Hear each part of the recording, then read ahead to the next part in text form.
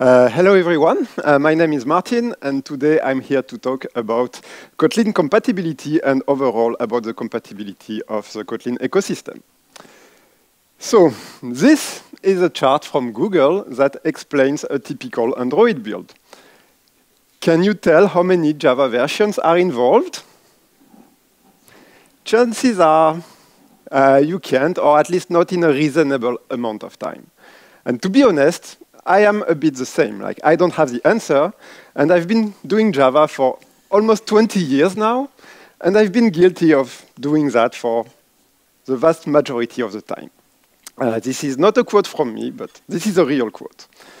And this is bad. Like, we should all care about the compatibility of our software and of our tools.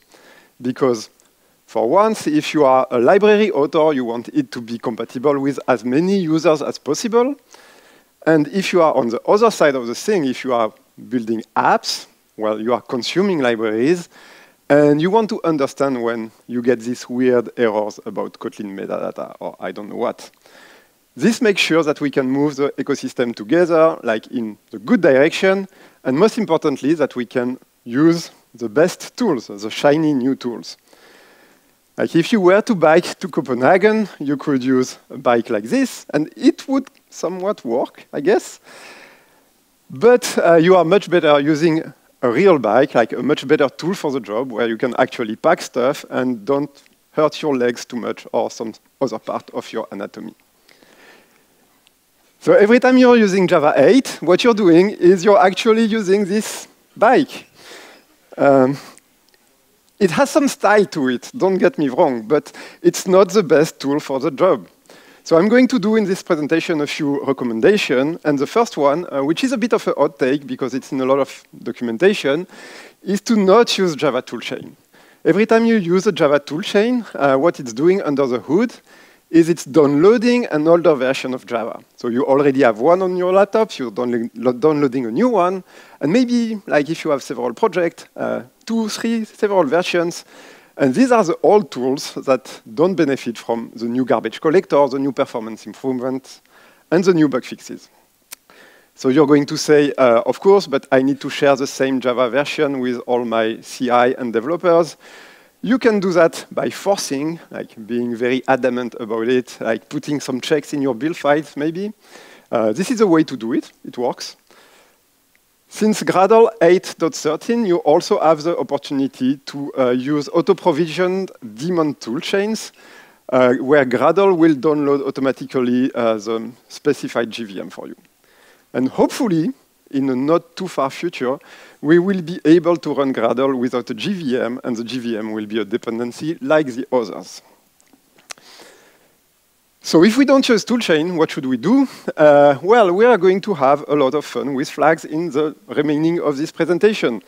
Lots of flags. Uh, you have the Java ones, uh, Kotlin ones, Android. And it looks like it's a few flags, but uh, in the order in which you define them and where to put them is always troubled me, and so I developed a passion for these flags. Let's start with a simple Java program. Not very interesting. Uh, it's a function that uh, does stuff. Uh, it uses Java 8 method references. If you want to use this, you should make sure to use source compatibility 8 to be able to use the syntax, but also target compatibility 8 to be able to use the invoke dynamic, dynamic bytecode instruction, and more generally, the class file format that supports it. Uh, if you are curious about it, you can use your favorite Java decompiler, JavaP. And you can see here that the class version is 52. Fun fact, if you remove 44 for, from this number, it works for any version of Java. You have the actual Java version, which is 8 in this case. So all good. Something else interesting here is uh, you have uh, local variable type inference, which was introduced in Java 10. So you could think of using source compatibility 10 and maybe hope that you can target lower version of Java with target compatibility 8. But that doesn't work because Java always wants your source compatibility to be lower than target compatibility. Why? Why would you use something lower? I don't know, to be honest. If someone here has the answer, please uh, come see me after this talk. Uh, but you can cripple your uh, Java source file and make sure you do not use any new syntax structure, I guess. And the last thing which is important is uh, there is a call here to remove first, which is an API from the Java standard lib. So like Kotlin, Java has a standard library. Unlike Kotlin, uh, it is bundled in the runtime. So if you use Java 21, you will have the Java 21 uh, runtime. It used to be called rt.jar. Now it has a new, new name with uh, modules and so on. So you need to uh, make sure to, to configure your bootstrap, bootstrap class path, sorry, uh, to make sure that your APIs are allowed and that the compiler is going to check that you are calling into the good Java standard library. Uh, if you don't do this, it will compile fine, but when you are going to execute your code, you will see a bunch of runtime errors, including this no such method error exception. So it's a lot to remember, right? Like you have source compatibility, target compatibility, uh, bootstrap class path, which is hard to tell, to pronounce. Uh, so the good Java folks introduced release in Java 9, and it does all of that all at once. Uh, so you should use it. This is the second recommendation from this talk, if you are targeting Java, always use the release flag. But we are here for Kotlin, and if we are taking a look at uh, another simple Kotlin snippet, you can see it has, oops, sorry, uh, UUID here. So Kotlin has a standard library uh, as well. It's not bundled, so you can upgrade it at runtime and it will work forever. You can compile against Kotlin 1.56 and use at runtime Kotlin 2, 2.1, and it's going to work really well.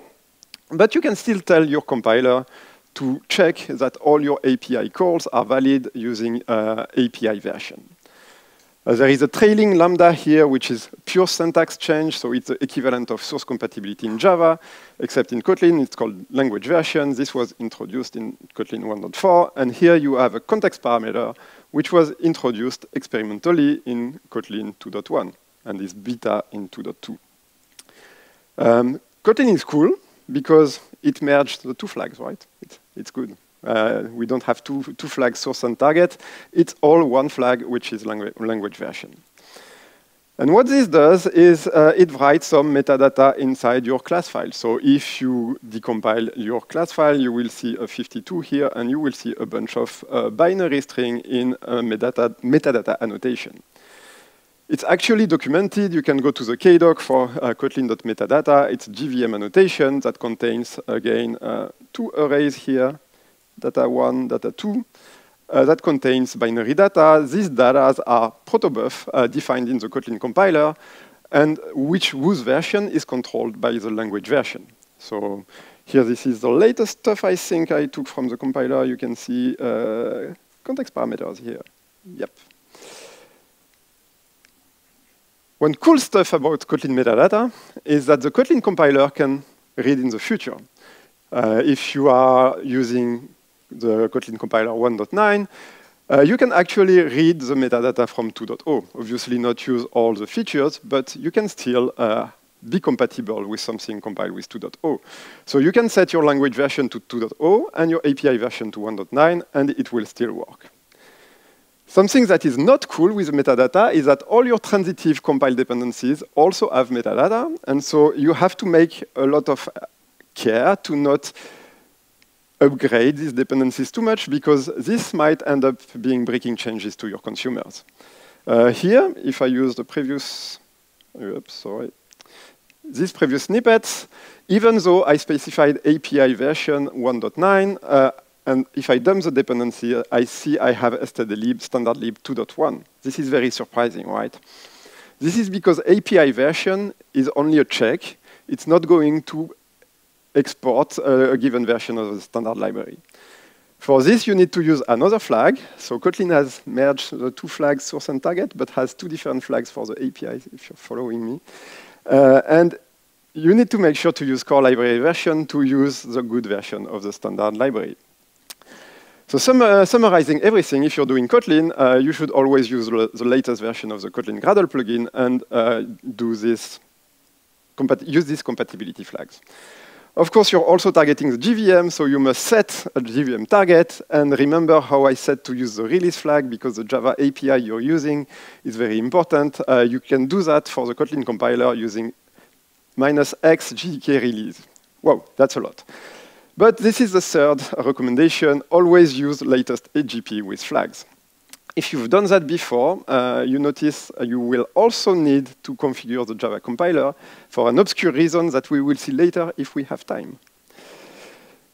Now, let's move on to Android. So we, have seen that the Java API you're using is really important, right? Because it defines what symbols you can use in your standard library. So for Android, what would you use? Like, what version of Java would you use? The answer is known uh, because Android does not, Android versions do not match with Java versions. Android always contains a subset of a given Java version. So the way you do this on Android is using the compile SDK, which is going to pull the android.jar, which you compile against. And similarly for JVM target, Android does not run a JVM at all. It runs uh, ART, which is Android runtime, which runs uh, DEX bytecode, which is compiled by R8 and D8. And as it happens to be, uh, R8 and D8 can completely support Java 24. So I did the test just before this conference, and I was able to compile an Android app just targeting JVM uh, Java 24. There's actually an argument that uh, you shouldn't target Java 24 there, but more like the lower version of Java because it's going to do less work for R8 and D8. But more generally, any version should work, and the API calls are going to be disregarded anyways. In all cases, you should make sure to use lint uh, to catch any missing symbols. If you attended uh, Aurimas' talk earlier today, he has a very good explanation of why remove last uh, can become an issue on recent Android devices. Fourth recommendation, always use the latest AGP with flag. I guess at some point uh, you see a pattern here. Uh, same thing for Android, you also need to configure Java. So why the hell do we need to configure Java again? It turns out it's for two reasons. Uh, Android still has this build config file that uh, you know you can do your debug or release uh, thing there. Um, this is generated in Java. Uh, you can actually remove that uh, by enabling this Gradle property enable build config as bytecode. And the other obscure reason why you need to configure Java for every Android build or any Kotlin build really, even if you have no Java, is uh, because of Gradle publication. Like Gradle duplicates the class file from your, uh, the class version from your class files into Gradle metadata used at dependency resolution. Why is it doing that? I don't know if you have the answer. Like, please uh, tell me after this presentation. But you can tell if you're, um, if you're writing an app and you don't care about publication that much, you can use kotlin.jvm.target.validation.mode equals ignore and uh, just forget about Java and just write Kotlin everywhere and then have a happy Cody. All right, so if we summarize, uh, we have uh, Java is relatively easy, always, uh, always use release flag. Uh, for Kotlin, it gets a bit more involved, like you have Kotlin metadata used at compile time, and you need to make sure uh, to compile your API version, but also your core library version. If we wanted to go deep inside the Kotlin DSL, you can also configure options uh, on the task, but also in the Kotlin block, and you have some kind of hierarchy of options where, where you can compile per compilation unit, so it can go really deep. And for Android, you should not configure the release flag because Android has no Java version. It only has compile SDK. Uh, but you still need to, to do all this stuff. So if you like having fun with flag, this is fine. Uh, you can uh, fall in this rabbit hole and have a lot of fun with it. If you don't, I wrote a small plugin called Compat Patrouille. Uh, it's a pun in French uh, where you just give it uh, two versions and uh, it will do everything for you, uh, whatever plugins you apply. We're almost done. There is just one last thing, which is uh, I, I, lied during most of this presentation. Uh, everything I did was talk about was for JVM, and JVM is something, but if you're doing KMP, you don't have a jar anymore. You have a klib. And as it turns out, since you don't have a jar, you don't have a JVM, you don't have JVM annotation either, so you can forget about metadata.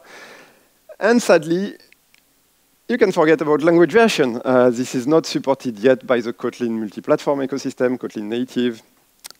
Uh, so if you bump your Kotlin Gradle plugin and you're releasing a native library, then uh, you're forcing all your users to use the same version of Kotlin, which can be a pain as more and more users uh, start using Kotlin multi-platform. So always leave a bit of room for your users to update at their own pace. A uh, few takeaways for you. Don't use Java toolchain, please stop. Uh, despite everything, everybody, well, they can tell you stop doing that. Um, keep remembering this N plus one forward compatibility. This is not something that's very uh, common in the ecosystem, so it's, uh, it can be surprising, but it also gives more compatibility. And JVM target on Android, uh, you can experiment with it, but it's not that important. And always use the latest tooling with compatibility flags. I was mainly the messenger today. Uh, there has been a lot of documentation on this topic, but also a lot of questions keep coming up on Slack, on the Kotlin Lang Slack, on the Gradle Slack. So I hope this presentation cleared things up a little bit. Thanks a lot to Alex, Aurimas, Jake, and all the others who wrote about it. And thanks a lot to you uh, for attending this presentation. Uh, I'm hoping to continue the discussion with you outside this room and have a good conference. Thank you.